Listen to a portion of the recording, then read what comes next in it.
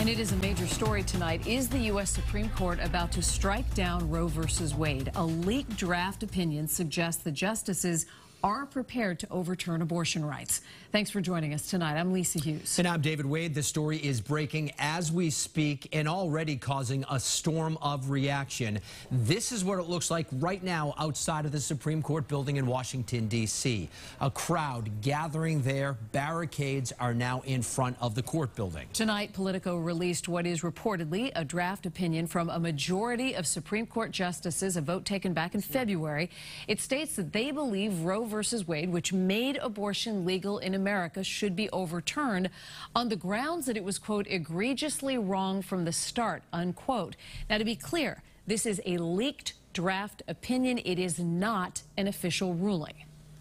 This is a leaked decision. So nothing has changed at this moment, and nothing will be different tomorrow about access to abortion care in Massachusetts and beyond. Um, we are still waiting from a final decision from the High Court, but this is an absolutely unprecedented. I, I can't remember any time um, in modern history when there has been a leak of this magnitude from the U.S. Supreme Court.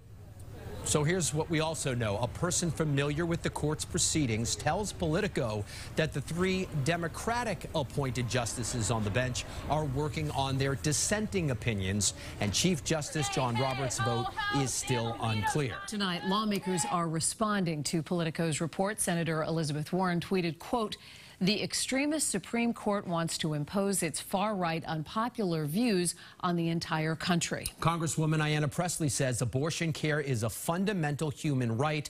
This is a breaking news story. We will continue to keep you updated here on WBZ TV and on CBSNewsBoston.com.